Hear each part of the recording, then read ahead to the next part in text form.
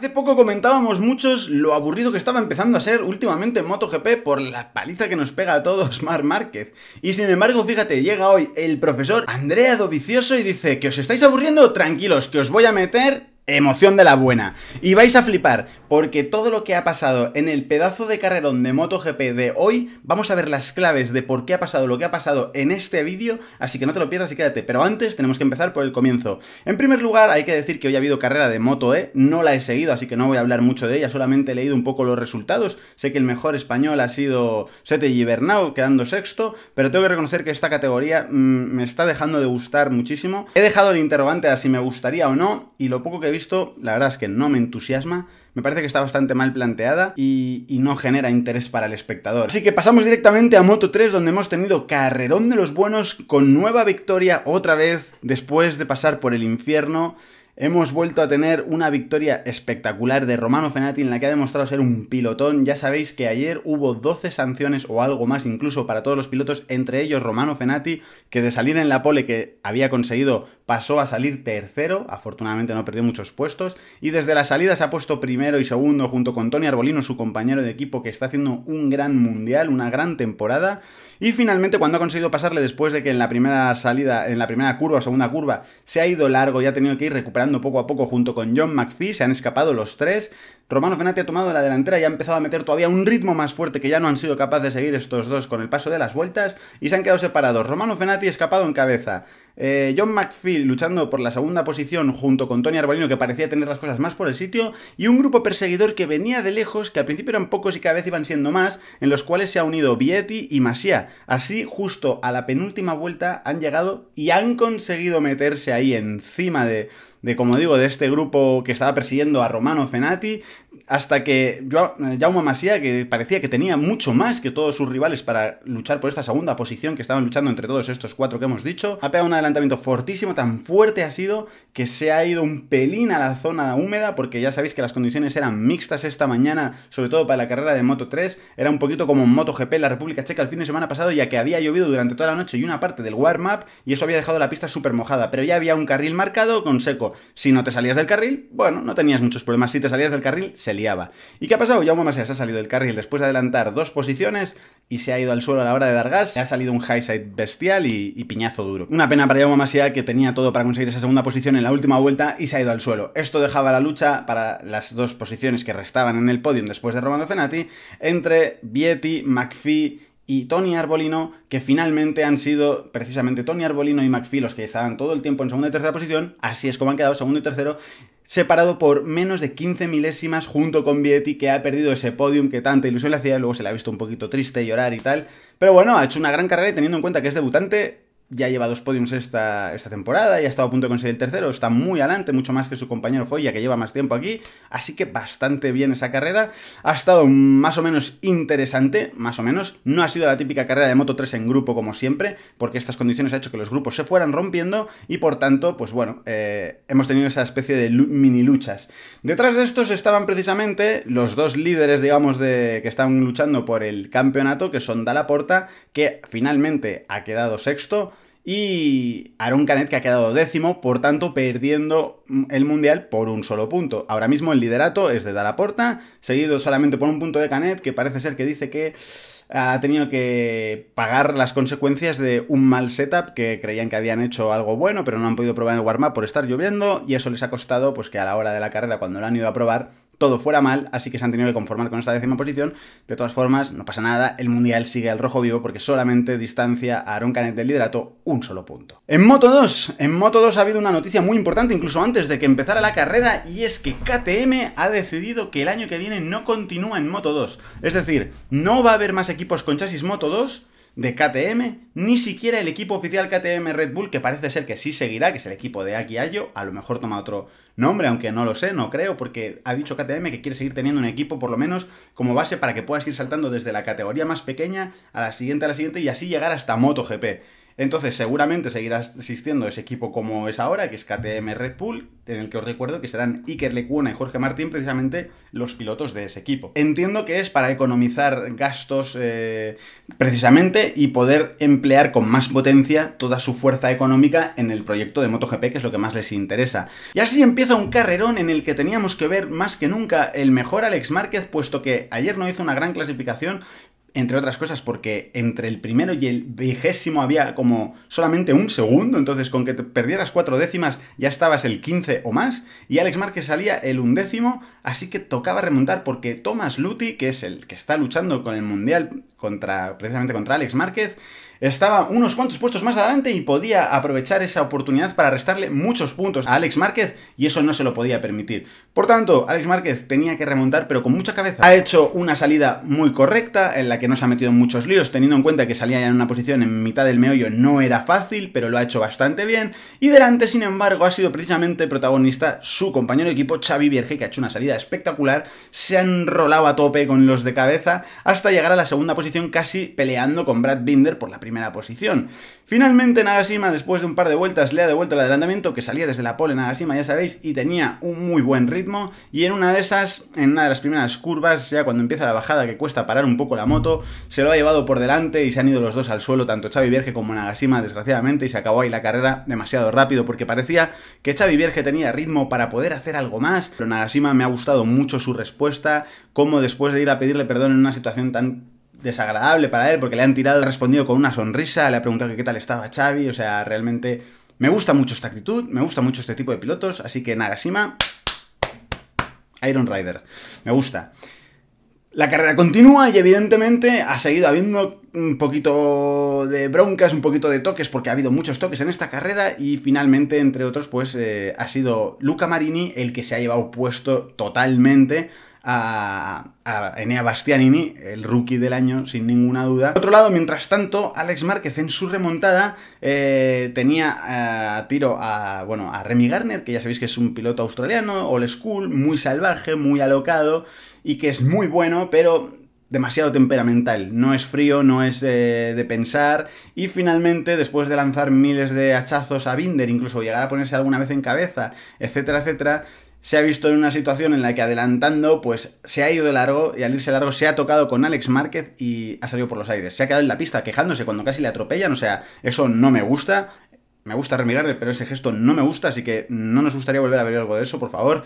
Realmente a esas cosas es, hay, que, hay que quitarlas de ahí porque podían haber costado una desgracia y hubiera sido muy triste realmente, porque han estado, Jorge Martín ha pasado a 10 centímetros, lo ha dicho él mismo, de, estar a punto de atropellarle. Entonces, bueno, este tipo de cosas hay que intentar cambiarlo. Y así sí llegamos a MotoGP, a la mejor carrera del año para mí, que ha sido espectacular. Para eso hay que entender qué es lo que ha pasado. La clave ha sido la bajada de temperatura con respecto al resto de días. Ha sido una bajada bastante grande, sobre todo con respecto a ayer, más que nada. Ya sabéis que los sábados, antes justamente de la clasificación de la Q1 y la Q2, se celebra el FP4, que es un libre, un entrenamiento libre de 30 minutos, 30, si no me equivoco son 30 o 35 minutos, y es el entrenamiento que por horario coincide más con el momento en el que habrá, en el que será la carrera de, de MotoGP el día siguiente, el domingo. ¿Y, por, ¿Y qué tiene de importante o de especial esto? Pues que los equipos lo utilizan precisamente para intentar entender qué neumáticos van a funcionar mejor el día de la carrera. ¿Qué pasa cuando hace una temperatura altísima en el FP4 y luego llega la carrera y la temperatura es mucho más baja, como ha pasado este fin de semana. Pues que todo lo que has probado no sirve y que todo lo que piensas son solo hipótesis. Es decir, tú crees que si a 50 grados el neumático duro funcionaba bien, sabes que en frío, con 25 grados o con 20 grados, no va a funcionar. Entonces quieres pensar que el blando va a funcionar mejor, pero es que a lo mejor no es así, no tiene por qué ser así. Pero claro, lo que dice la lógica es eso. Y a veces la lógica en motos se equivoca se equivoca y eso es lo que hace carreras tan bonitas como esta. Así que Mar Márquez, que siempre ya sabéis que es tendente a un neumático más duro porque su estilo es muy agresivo y destruye mucho el neumático, eh, para poder aguantar toda la carrera, pues ha decidido que evidentemente con estas temperaturas el neumático duro no servía y les quedaba el blando y el medio. Y Mar Márquez ha sido de los pocos que han tirado por el medio. Ha sido el gran error que les ha supuesto ya no tener ninguna opción a final de carrera porque aunque muchas personas no lo entiendan, llevar un neumático más duro no significa que siempre vaya a aguantar más. Es decir, si el neumático no se engancha bien al suelo, si patina, cuando tú patinas, cuando tú quemas rueda, la rueda está patinando y se quema la rueda, ¿no? Pues lo mismo pasa, imagínate en aceleración, pequeñas patinadas constantes. Vas quemando el neumático, lo vas deformando también, entonces hasta tal punto que pierdes pues todas esas características positivas que tiene, ¿no? Mientras que los pilotos que se la han jugado por el blando porque parecía mucho arriesgar, como por ejemplo Dovicioso, pues han acertado han dado con la tecla perfectamente. El ejemplo más claro, Dovicioso, ¿dónde está? Ha ganado la carrera y su compañero Petrucci, que se la ha jugado por el medio, porque también es un piloto que consume más gomas en líneas generales, etcétera, etcétera, pues ha acabado noveno. Para que os hagáis una idea de la diferencia que había entre elegir uno y otro, al margen de que luego el estilo de pilotaje o tener el ritmo o tal, pero como digo, es la clave estaba bastante en la elección de neumáticos. Por tanto, nosotros hemos visto una carrera pero la carrera real era otra. Y os lo voy a explicar comparando uno con otro. En la salida hemos visto una super salida de Mar Márquez y una super salida de Dovicioso. Cuando han llegado a la tercera curva, desde, la primera, desde el primer momento Dovicioso sabía que tenía que ponerse, interceptar como sea a Márquez y que no se pudiera escapar de ningún modo, porque eso era peligroso. Cuando han llegado a la tercera curva, eh, parece ser que Dovicioso estaba para ponerse primero y Mar Márquez ha hecho una de sus jugadas de pícaro al límite, porque se ha metido en el interior y ha dicho, frenaré cuando frenes tú y me da lo mismo. Y si nos vamos los dos largos, pues nos vamos los dos largos, pero aquí no sumamos puntos ninguno. Y efectivamente ha hecho que los dos se fueran largos, muy largos de hecho, provocando la casi caída incluso de Dovicioso, pero Dovicioso que ya tiene la, la, medida tomada totalmente de todas estas jugadas, de todos los duelos en los que se ha enfrentado con Mar Márquez, pues bueno, ha sabido cortar a tiempo, volver a meterse para adentro, pero para entonces ya había perdido 4 o 5 puestos y estaba entre el quinto y el sexto. No se lo ha pensado ni un segundo, ha salido enchufadísimo y antes de llegar a la siguiente curva ya le había vuelto a devolver otra vez el adelantamiento a Mar Márquez, precisamente. Entre tanto, pues Fabio Cuartararo se ha puesto en primera posición con todo este tinglao montado, ha empezado a tirar a tirar y cuando nos hemos dado cuenta casi le sacaba un segundo a Dovicioso cuando una vuelta más tarde ha sido capaz ya de ponerse en segunda posición. Al principio parecía que Dovicioso pues eh, iba a llegar muy fácil a Cuartararo, pero finalmente han sido unas cuantas vueltas hasta que ha llegado. ¿Es porque no pudiera? No. Es porque Dovicioso en la cabeza tenía un mensaje todo el tiempo. Tienes mucho ritmo, pero no puedes sacarlo todo. Porque si sacas todo el ritmo, destruyes el neumático. Si destruyes el neumático, se acabó la carrera. Porque con destrucción de neumático, Mar Márquez es el mejor. Así de simple. Entonces, no vale el juego de, bueno, pues yo destruyo el neumático y Mar Márquez también. Y entonces así, pues los dos jodidos. No, porque entonces Mar Márquez te debería de ganar la partida a igualdad de condiciones. Tanto es así que por eso Dovicioso se empeñaba en ponerse por delante de Mar Márquez y marcar su ritmo. No quería que Mar Márquez tirara con esas dos, tres décimas de más cada vuelta y que eso supusiera que, aunque fuera detrás perfectamente, no pudiera luego acabar en la carrera con los neumáticos frescos y por tanto destruidos y por tanto sin posibilidad de pelear por, el, por la victoria, ¿no? A todo esto, Jack Miller finalmente se cae, también estando en las primeras posiciones, y aparece por ahí el gran doctore, el doctore Valentino Rossi, que salía desde la undécima posición, si no recuerdo mal, o décimo undécimo. Mucha fuerza, parecía que iba a aspirar a algo más, pero luego finalmente no ha sido capaz, acabando en una cuarta y digna posición, teniendo en cuenta la mala racha que llevaba, incluso por delante de su compañero de equipo Maverick Viñales, que también ha hecho una salida psa, no ha hecho una salida mala, pero luego ha ido perdiendo puestos, le ha costado mucho recuperarlos, y siempre con la rueda detrás de Alex Rins bien pegada, se han ido acercando. Es cierto que de la distancia que le había metido Valentino Rossi, que era bastante, ha sido capaz de quitarse toda la distancia de medio y quedarse pegado.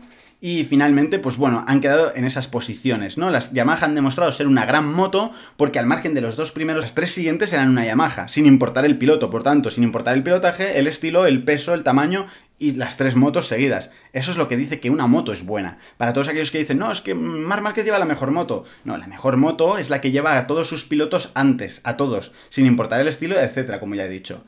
Así nos quedamos con una carrera preciosa de tú a tú de las de antaño Maricastaño que hacía tiempo que no veíamos concretamente desde Qatar entre el gran Vicioso y el gran Mar Márquez que ha sido un duelo bestial. Parecía que Mar Márquez tenía todo para ganar porque parecía que tenía más ritmo, parecía que tenía más, más la cosa por la mano y que Dovicioso no podía. Sin embargo, es cierto que Dovicioso estaba pegado, pero es verdad que algunas veces ya veías tres décimas, cuatro décimas, dices, uff, no, ya se va, ya se va.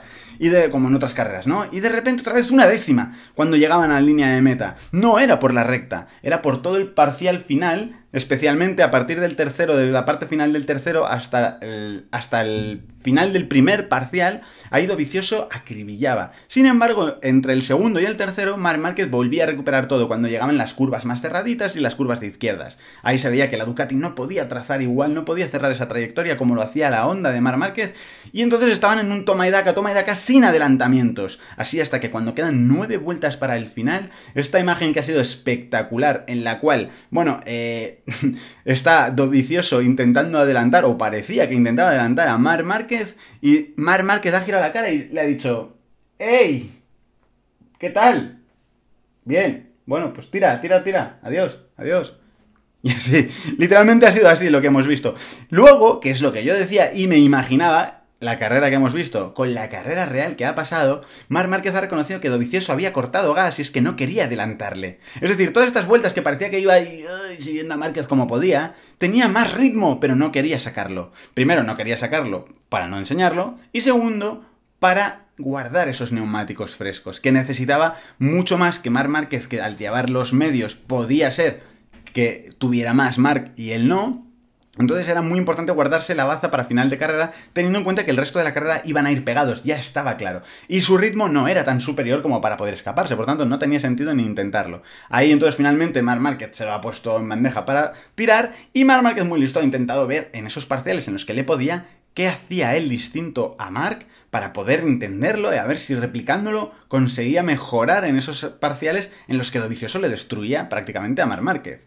Así han seguido sucediendo las vueltas hasta cuando faltaban tres vueltas Dovicioso ha dicho, ahora amigo, ahora. O sea, bueno, a todo esto, perdón, antes Mar Márquez le había devuelto el adelantamiento, parecía que podía ser algo ahí, pero no, estoy convencido de que Dovicioso estaba esperando. Y cuando faltaban tres vueltas, Dovicioso ha pegado un hachazo y han empezado a liarse a una serie de hachazos durísimos e interesantísimos, cada uno en su parte que le convenía, hasta que llegada a la última vuelta llega el, el vueltón. Y es que Dovicioso ha dicho, salgo del último parcial perfecto, salgo a la recta, se ponen en paralelo, parece que va a llegar mejor a la primera curva y Márquez pega la frenada de la vida. Consigue recuperar la primera posición ya en la mejor curva para Dovicioso, así que problemas. Y llega a la segunda curva que al no salir mejor mm, lo tienes difícil, aunque también es muy favorable si sales bien.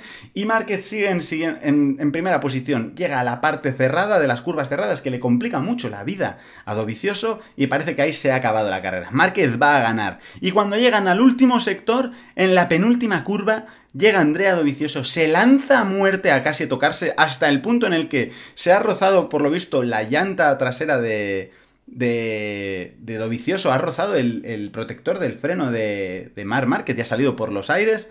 Y bueno, eh, han estado a punto de tocarse, pero no nos han tocado, con un adelantamiento bastante al límite, pero muy pulido, muy fino.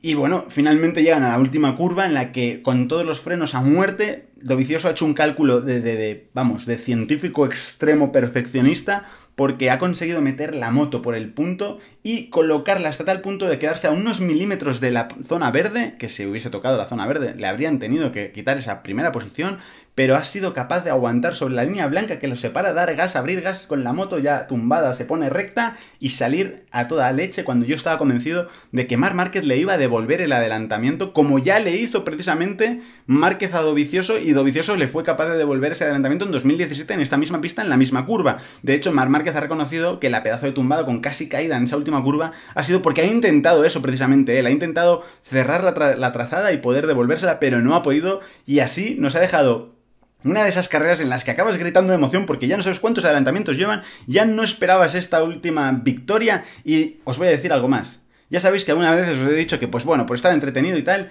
yo, pues bueno, alguna vez hago una puestilla de poco dinero y tal, pero bueno, para ver si sale bien o no y tal, lo vives con más emoción cuando ves la carrera. Pues bueno, hoy me la había jugado por el señor Andrea Dovicioso. Y aquí está la comprobación, la demostración de que me la había jugado porque ayer cuando vi que se pagaba 6 euros y medio su victoria dije, esto es falso. Esta, esta victoria, o sea, este, este valor no es real, Dovicioso no está tan lejos. Sin embargo, ¿en qué lo habían basado todo? En que en la pole le había sacado medio segundo Mar Márquez a esto. Está claro que es un tipo que el que ponga estas cifras no debe de entender tanto de motos porque no había visto los ritmos, no había visto nada y entonces había puesto demasiado dinero a un tipo como Dovicioso que ayer dejó caer que la pelea iba a estar. ¿Que ganaría o no? No lo sé. Y yo también le creí. Si tú le creíste, es muy importante que dejes un like en este vídeo para saber cuántas personas hemos creído en este pedazo de carrerón. Y dice el señor Dorna que si llegamos a 10.000 likes en este vídeo, habrá un nuevo carrerón la próxima semana que haya carreras, que no será la próxima, sino la siguiente.